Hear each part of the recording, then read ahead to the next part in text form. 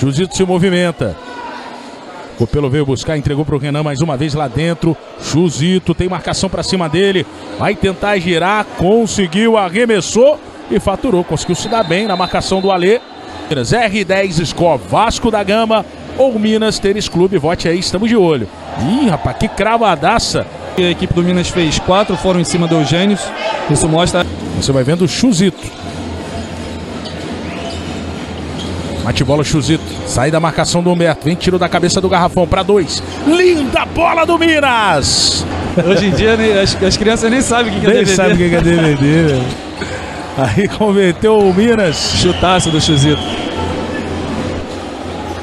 Demonstrou ter, ter, personalidade, conseguiu fazer uma boa roubada em cima de um, de um, do Copelo, que é um jogador de muita qualidade.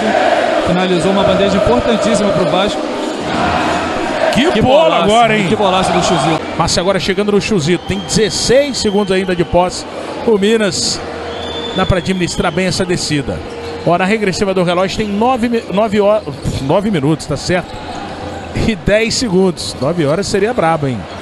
Foi pro arremesso converteu Minas. É o ponto de número. A gente acompanhando aqui as estatísticas que o, Vasco já tem 16 erros na partida e o Minas 15.